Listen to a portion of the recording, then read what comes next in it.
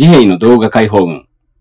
自衛の動画解放軍。今、新幹線をこのアクションカメラのテストのために、テストのために撮ってましたね。あの、いろいろな FPS、120fps から、あの、4K の 15fps までいろいろ撮ってました。まあ、ただ、新幹線撮るときって、結構、あの、奥まったところに入らないといけない。それ今、新幹線撮り終わって、それ車の中でちょっと動画とか見てたら、あの、職務質問されましたね。そう、ここなんか、痴漢が多く出るみたいで、まあ、さ、写真撮影してる人って、怪しまれるんですよね。カメラ持ってる。カメラ持ってるし、まあ、そのカメラで変なの撮ってるんじゃないか。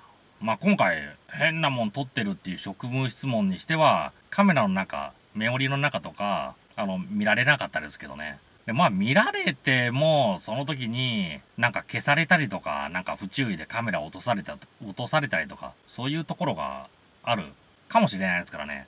それまあじゃあ、職務質問されないというか、怪しいと思われないためにどうしたらいいのかって、あの、警官の人に聞いた。そうしたら、あの、届けて出しとくといいみたいですね。ここでこういう撮影してますって。撮影する場合は警察、管轄の警察に電話かけて、それで生活課かなパトロールしてる。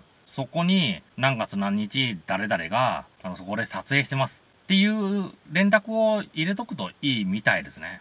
まあ疑われても嫌ですからね、こっち何も悪いことをしてないわけだし。だから、まあまず、変なことをしてたら当然ダメですけど、変なことしない。そして、ちゃんと前もってここで撮影するということを届け出しとく。重要みたいですね。まあ、あまりいい気持ちしない。それと、まあ、こっち悪いことをしてないんだったら、こっちの ID、まあ、免許証とか、あと車検証とか、まあそういうのを、あの、まあ見せろって言われたら見せればいいですからね。ネットのネタとかで、任意質問だからなんとかっていうのありますけど、まあ見せちゃって、それでこっちの身分を明らかにして、そして書いてもらうご苦労様みたいな、そういうのでいいような気がしましたね。でも、なんだろうな、ほんとここ、痴漢がいる。まあ痴漢がいるということは、ここで何か物事があったら、あの、私も巻き添え食うわけですからね。目の前で何か痴漢行為があった。その時、当然一緒に連行されると思いますからね。